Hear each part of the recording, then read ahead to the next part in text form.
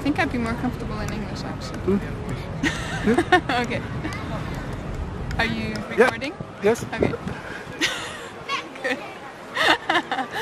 Hi, my name is Bianca and I like shaping wooden surfboards because I love surfing and I love the planet and I want to give something back to it.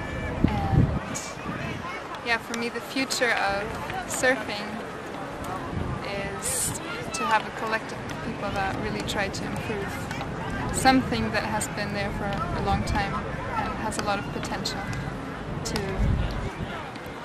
to be something good. Perfect.